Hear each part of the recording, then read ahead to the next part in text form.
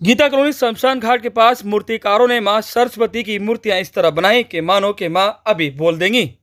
आप देख सकते हैं गीता कॉलोनी शमशान घाट के पास मूर्तिकारों ने सरस्वती पूजा के अवसर पर माँ सरस्वती की मूर्तियाँ बनाई। ऐसे ही आज शाम को माँ सरस्वती की मूर्तियाँ सभी अपने अपने पंडालों में पूजा स्थलों पर चली जाएँगी और कल माँ सरस्वती की पूजा की जाएगी। उसके अगले दिन माँ सरस्वती की विदाई की जाएगी। यही लगातार गीता कॉलोनी के मूर्तिकार अपने दिन, रात अपनी मेहनत से बना रहे हैं।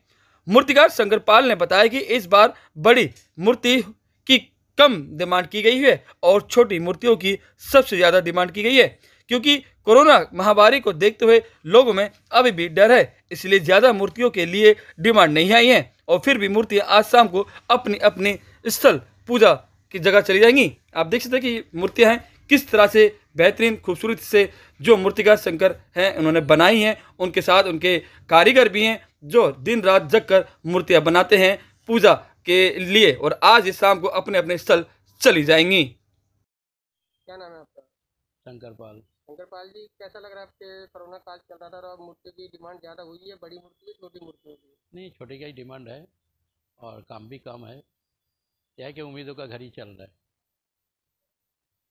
कितनी मूर्ति अब तक जा चुकी हैं और कब से पूजा स्टार्ट होगी पूजा तो काल है आज सभी चला जाएगा जो भी बना हुआ है।